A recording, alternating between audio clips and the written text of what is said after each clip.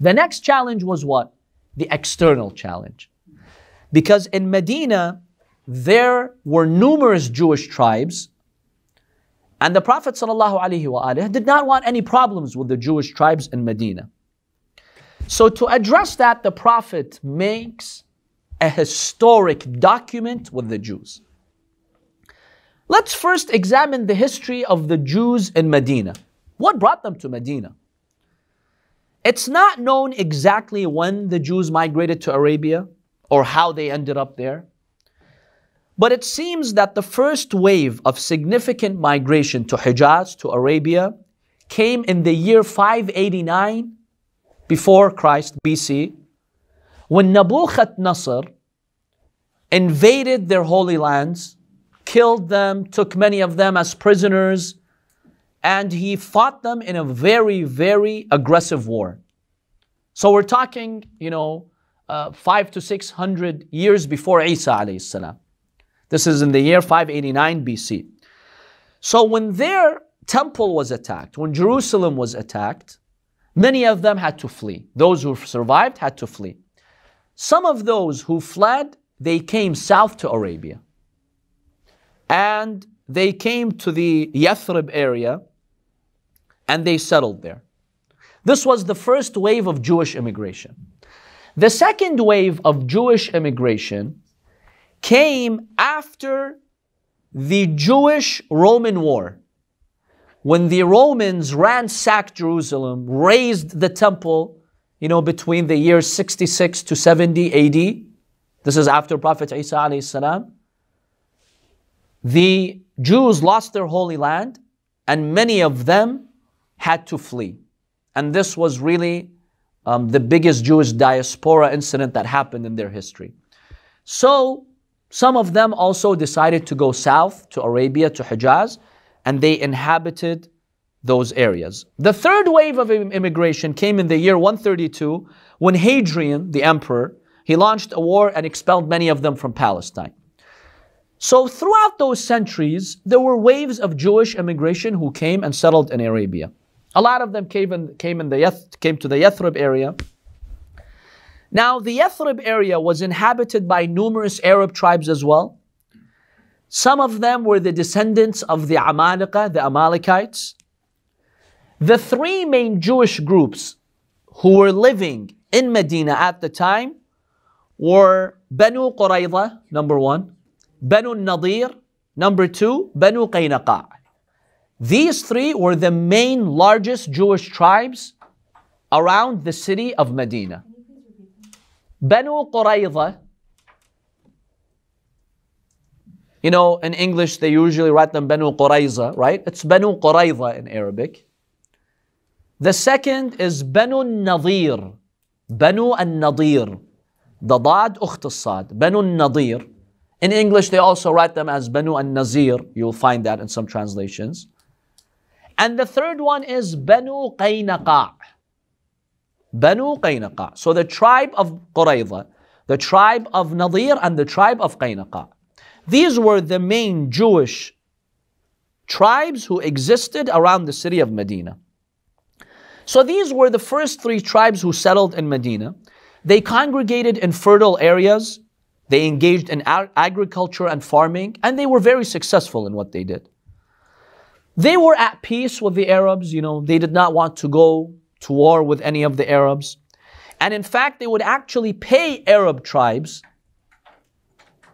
in return for them not to be raided. Because you know, the Arab mentality was if I have power, I'm going to raid you and confiscate your property. So they would constantly pay money to the surrounding Arab tribes so they would not be raided by them. So, relatively, they lived peacefully with the Arabs at the time. Their communities were very enclosed, they were exclusive, they would not really intermingle that much outside their group, and they built numerous forts and fortresses to protect themselves. Some of those tribes from these three that we mentioned, they claimed noble ancestry. You know, we come from the lines of important rabbis, um, scholars from Bani Israel. In fact, some of them claimed to trace their lineage to prophets from Bani Israel. That's what they would tell the Arabs, you know, to kind of give themselves that prominence. Now, these were the Jewish tribes. Now, the Arabs who lived around Medina mainly came from the Aus and the Khazraj. Historians tell us that the Aus and the Khazraj originally came from Yemen, from the area of Saba. Now, the reason why they migrated to Medina is because a historic flood hit their town. You know, the, the, um, that famous dam was, uh, I forgot the name of the dam. Ma'rab? Yes. Sad Ma'rab. The famous dam, the very important dam of Ma'rab was broken, it was compromised, so it caused a devastating flood such that they were displaced. So they had to migrate to other areas. So they came to Medina, the tribe of Khazraj and the tribe of Aus. So originally they were Yemeni Arab. And then they settled in the city of Medina. When they came to Medina, they were not that skilled. So they started working for the Jews over there around the city of Medina. And the Jews, they wanted laborers to work the farms and work the fields. So they actually found this a good opportunity to give them work. But the Jews, they controlled the agriculture and they also controlled the businesses and the economy of the area. And one way by which they made a lot of money was by usury and interest loans. You know, wherever they went, this was like their trademark. They were very, very adamant in charging interest for loans. Whereas the, a lot of Arabs did not do that initially, and they learned it from them. So basically, they had a lot of power in the area. Initially, they would mistreat the Aus and Khazraj because the Jews had a lot of prestige and power and they controlled the economy. They would mistreat them. But over the years, when the Aus and Khazraj became more prominent, they were able to establish themselves, they now had more power, so the Jews had to respect them. Sometimes they would betray them the Jews made a pact with the Arabs, those Arab tribes, the Aus and the Khazraj, that, you know, we're united. If anyone attacks us here in the Yathrib area, we'll stand united and repel them. They signed, you know, they, they made those verbal agreements, but then sometimes the Jews would break those agreements. In one of those violations, they actually killed many of the uh, Aus and Khazraj. And they had to actually reach out to far tribes to come and help them to restore balance. But generally speaking, generally speaking, they lived peacefully with the Arabs and they tried not to go to war. But here's what they would do. They had the policy of divide and conquer, those Jewish tribes. Have you heard of the historic fights between the Aus and the Khazraj? The last of them before Islam lasted 120 years. And it ended really with the presence of the Prophet. The, the, the Jewish tribes realized, you know what?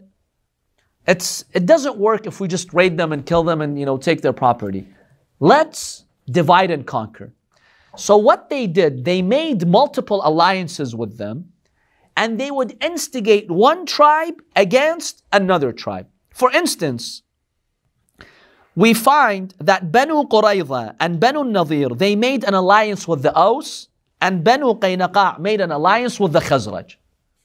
And their agreement was Let's instigate them against one another. And that's one reason why the wars between the Aus and the Khazraj lasted for a century. Because the Jewish tribes would constantly instigate them. And this was very unfortunate.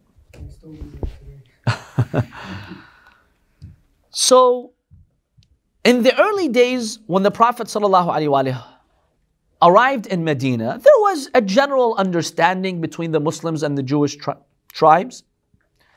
Because, first of all, the Muslims were monotheists and the Jews were also monotheists, right? They were not idol worshipping. So, this was like one common point that they had with the Muslims. Secondly, they had an agreement with the Aus and the Khazraj. So, when the Prophet first arrived Medina, there was no tension. Everything was normal. There was mutual respect between two sides. And in fact, the Jews initially were happy that the Prophet came to Medina because they realize now we're monotheists, and these Muslims, this new faith, is also monotheism. It recognizes our prophets, the Jewish prophets. So if we become a strong empire, maybe we can stand in the face of those Roman emperors, even the Christians who are persecuting the Jews. Maybe we'll start a powerful government here. But then they realized that their plan, which was to have the Prophet follow their traditions, this was their initial plan, right? You know, we have a long history. We're going to pressure him because we've got so much knowledge. We're going to pressure him to come and join us. This was their plan. When they saw, no, this man is independent, he really has another religion and he's not going to follow their path, they became hostile to him. So in those early days, they were at peace with each other. The Prophet ﷺ, in order to avoid divisions and problems and to act as a responsible community leader, he signs a historical document with the Jews. This is called the Constitution of Medina or the Charter of Medina. And historians and critics consider this to be one of the most important documents in history. Way before the West started to come up with the idea of having a constitution, rights, f- religious freedom, the Prophet ﷺ instituted that in Medina. So he signed that very important historical document. Next week, inshallah, we will examine this document because it's very important and most of us are not aware of this document of Medina. We'll go through the document. What are the conditions that the Prophet ﷺ stipulated? How the Prophet recognized these Jewish tribes? He granted them the freedom to worship according to their values. But then, unfortunately, as we shall see later, the Jewish tribes, generally speaking, did not honor the, the, the document after signing it. So we'll examine the tribes who signed them and we'll walk through it. It's very interesting. This requires, you know, a separate discussion to analyze the tenets of this constitution of Medina. And this really shows you the greatness of the Prophet 7th century Arabia, backwards mentality, tribalism. The Prophet builds a state and it's based on a wonderful constitution that is based on justice, based on freedom, and based on truth.